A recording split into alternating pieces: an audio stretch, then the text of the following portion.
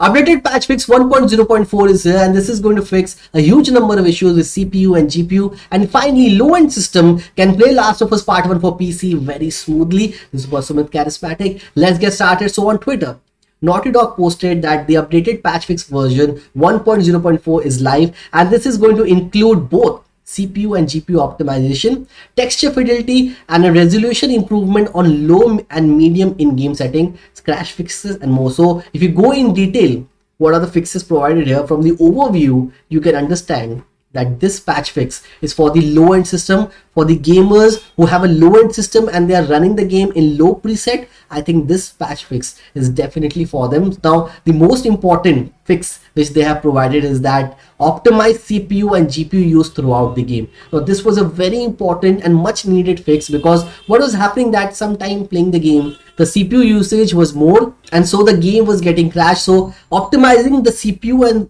GPU usage was very important and also very important fix which they have provided is that improve graphical fidelity on in-game low graphics preset particularly water surfaces no longer appear black. Now playing the game in low preset was terrible you were having all kind of issues some terrible issues which which are not included here but there was some lot of crashes lot of these issues in which the water surfaces was looking black looking black. So certainly they have fixed. And on one thing one issues which they are trying to fix again and again issue which they are trying to fix again and again is the issue with the shader.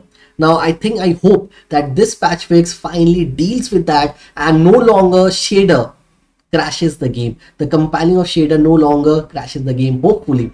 And also, if you see the known issue page, you will understand that there are small number of issues which are left there were a, there was a huge list of issues but but finally with all their patch fixes they have resolved that which is very good so which means that naughty dog is listening to all the gamers who faced issues while playing the game and also this patch fix consists of uh, updated the VRAM bar to more accurately display the OS Plus apps usage. So, so the VRAM part was something that uh, they have considered and they have improved here in this patch fix so that you will be getting an accurate display of what is the actual VRAM which is being used in the game. So which is very much important and added a texture streaming uh, rate setting which I have no idea what they have uh, what they want to say with this but they have just mentioned added a texture streaming rate I think this would also improve the graphics certainly for the low end system. And also for the keyboard also they have provided the the, the fix here. But this game is well enjoyed on a gamepad. But if you're playing with a keyboard and mouse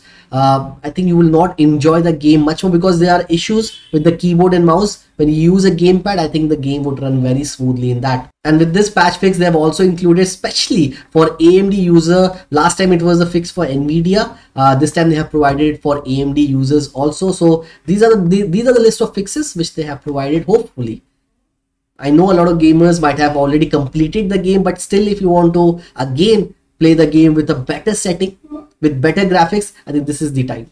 So let me know in the comment section what you feel about it. If you haven't subscribed to my channel, kindly subscribe it. Our next target is 11k subscriber. Hopefully we achieve that as soon as possible. So if you haven't subscribed to my channel, kindly subscribe it. See you in the video. Bye bye. Take care. Keep supporting, keep loving and always keep gaming.